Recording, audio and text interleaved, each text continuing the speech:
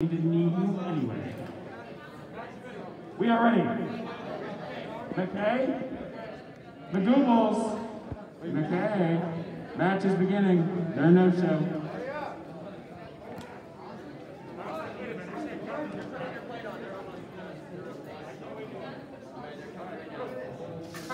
And the match begins.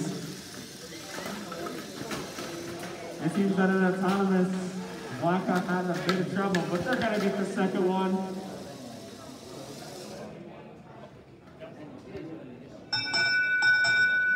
And at least to my untrained and unprofessional eye, looks like red team wins. Autonomous. Not bad, but it looks like it. Just maybe. Red team wins your autonomous period. And as driver control begins, the blue team starts to try and make up for that poor performance in autonomous. But red team, it doesn't look like they're going to give them any quarter, even though they're missing a whole teammate. Red team looks like they're going to go for as many points as they can possibly get. They're even fighting for the middle. That's just not fair. Blackout seeming to want to pin and disable.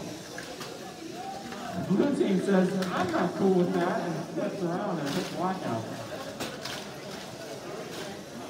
Blackout running around at the speed of sound. Running into their own teammate, and on a one, two, three, and they drop the pin. Blackout taking good advantage of their speed trying to D-score, re-score, run in there, everything, run into their teammates, anything and everything. Blackout think they, they, one, two, that's good. Oh, the blue team dodges one of Blackout's tackles. At this point, it's a wrestling match. A fight. Who can disable who?